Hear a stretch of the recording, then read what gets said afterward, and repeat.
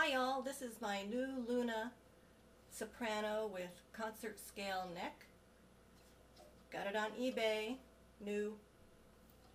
Um, just got it the yesterday, and uh, my husband set the bridge up for me and intonated it as best he could. He says the A string is kind of crappy, so it's hard to keep in tune right now. But I'll give you a little sample. Um, mercifully, it's less than 30 seconds, I think, and I'm kind of a new player, and I'm old too. So that's always a good excuse to preface your lousy playing. So here it is.